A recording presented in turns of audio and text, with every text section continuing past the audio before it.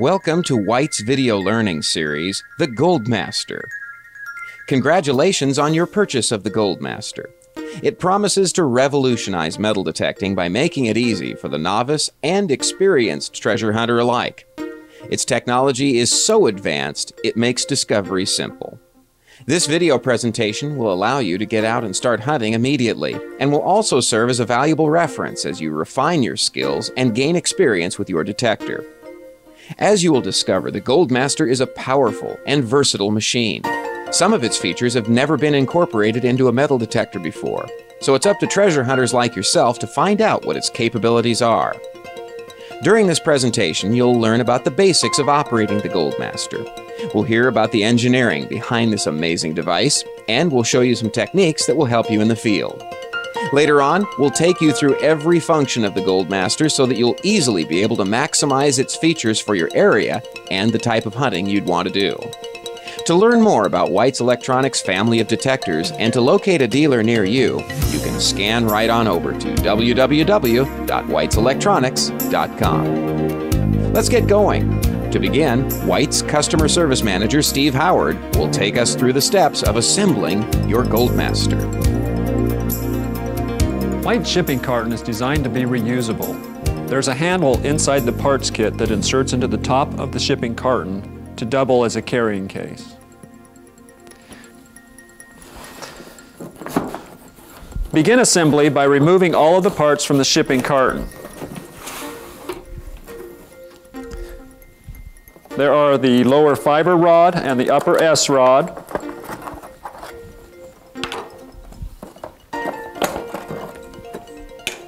The instruction manual. The parts kit and battery.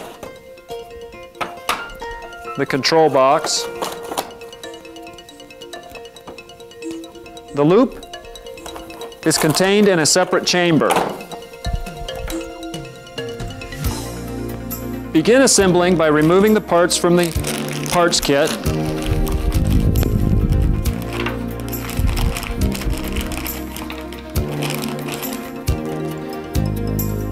The two washers go on the lower rod clevis, one washer on each side.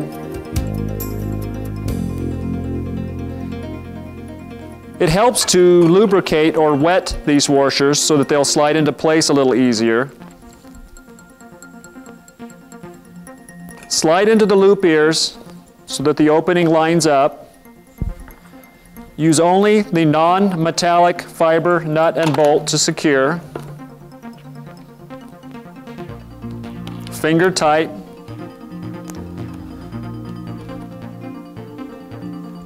The GMT has a center rod section.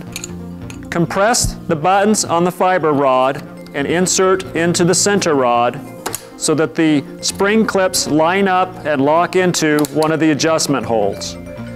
Turn the cam lock to secure. Unravel the loop cable. Wind the loop cable around the rod, first revolution over the top, leaving a little slack so that the loop can pivot.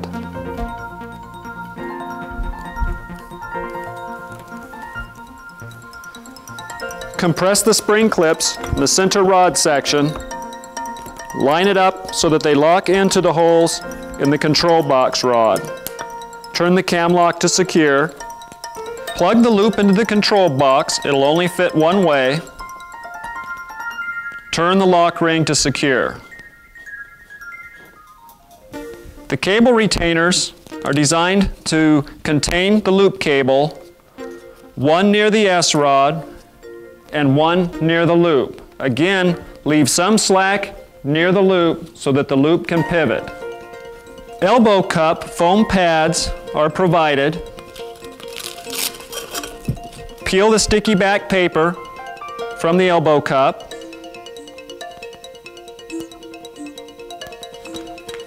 Align carefully in the elbow cup and press firmly into place.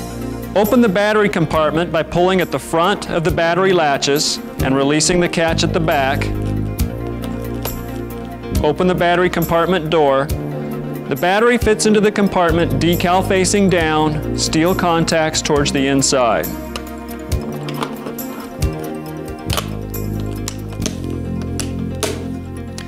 Many prospectors use headphones exclusively. To prevent moisture and dust in the speaker, a decal is provided, which may be installed above the speaker for use exclusively with headphones. The elbow cup adjusts, has three available positions. As well, there are adjustments in the center rod to adjust the length of the loop. You are now ready to detect. If you had any difficulty or questions about assembling your unit, you can review the manual included with the GMT or rewind this tape and watch Steve again. Now, when it comes to finding gold treasure, Jimmy Sierra Normandy has the Midas touch. But I think what interests me a lot about this hobby is um, is that the stories that go with it. Um, whenever I have found something that I've put aside, uh, and I look at it, something goes and an experience comes back. This was a shock. I kept looking at it. I couldn't get my eyes off. I stuck it in my pouch, kept looking at it, put in my pouch. I, I don't believe this. You know, it's covered with mud, but uh, I knew I was in a good spot. And about 15 feet away, I got another signal, and uh, one, we could hear cans and everything else, and I dug down about this far under rocks and was going to give up about two or three times, but I remember, you know, I've got to keep going, and it was really making a noise, just like a tin can. I went down 30 inches, it's about that far, and here's this boulder. It's about this big. I could hardly pull it out from underneath the rocks, and I ripped, pulled it over. There was a hunk of gold sticking out this big, just a great big piece of gold went right through the rock and spread out, and uh, it had uh, over 24 ounces of gold in it. Now you see what we mean when we say Jimmy has made a discovery or two. Maybe you're not gonna go out right after watching this tape and promptly discover a giant gold filled boulder like Jimmy did, but who knows? There's a world of exciting treasures just below the ground. To find them, you have to go look for them. And now you have the most powerful tool to help. Here's Jimmy to get us started with the Goldmaster. Uh, this is the fifth Goldmaster that I made a video for, and I can honestly say it's the simplest detector I've ever uh, had to demonstrate and to talk about. I'm just totally delighted because this is going to be the easiest job I've ever had. We'll start by uh, talking a little bit about, just briefly, where to put the controls. And there are, uh, by the way, three knobs, three toggle switches, and three touchpads. And that's it and of course the, the display which uh, records some of the uh, information, but though it's only six, three, six, nine controls. The first control is the variable SAT control, um, as we found on the last uh, three Goldmasters, and it has a preset writ right on the um, uh, dial, below the dial, somewhere between three and four times. Um, we set these arbitrary numbers here just uh, to have a place to relate to. So we have a preset on the SAT which gives you the what I call normal speed of self-adjusting threshold. The threshold uh, is controlled by the knob uh, forward of that. It has no uh, marks on it, and it's the only one that you'll really have to set on your own. You will turn that clockwise to get an audio threshold uh, that's comfortable to your ear. For example, if you're wearing headphones, you're going to make a much lower threshold. If you're not using headphones, uh, then the threshold will be a little louder so that you can actually hear the faint hum that's typical of uh, the uh, uh GEB detectors, uh, of which uh, the Goldmaster is, is. The third control is the gain. Um, we changed the name to gain from sensitivity because it more describes what's going on. We have a preset position, it also uh, here of between 7 and 8. And again, the little triangle, which is, uh, I should say, the initial setting. Preset is something we used, um, which we don't use anymore. Initial setting, it's a place to set it before you go out and, and uh, detect. And we've set that between 7 and 8. Uh, you turn it clockwise uh, uh, to go from uh, 0 through 10, and the power is turned on at that time. Those are the three knobs. let's start with the three toggle switches.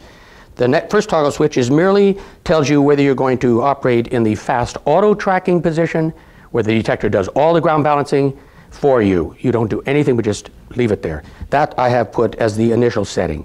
It has the diamond there. There is a second setting that you can use